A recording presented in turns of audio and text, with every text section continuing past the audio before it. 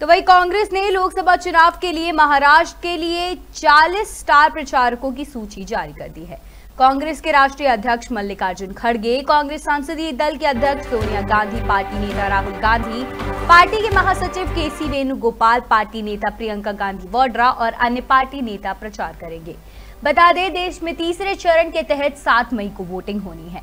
बता दें, स्टार प्रचारकों में गांधी परिवार से सोनिया और प्रियंका को मिलाकर कुल पाँच महिलाओं को जगह मिली है। वही लिस्ट में नाना भाऊ पटोले बाला साहेब थोराट विजय, सुशील कुमार शिंदे, पृथ्वीराज चौहान, मुकुल वासनिक, अविनाश पांडे, इमरान प्रताप प्रतापगढ़ी मानिकराव ठाकरे, वर्षा ताई गायकवाड़ सतेज पाटिल, चंद्रकांत यशोमती ठाकुर, शिवाजी राव मोले मोघे शामिल हैं। कांग्रेस यहाँ महाविकास अघाड़ी में शामिल है, जिसमें एनसीपी शरद चंद्र पवार और शिवसेना उद्धव बल, उद्धव बाल ठाकरे साथ मिलकर चुनाव लड़ रहे हैं।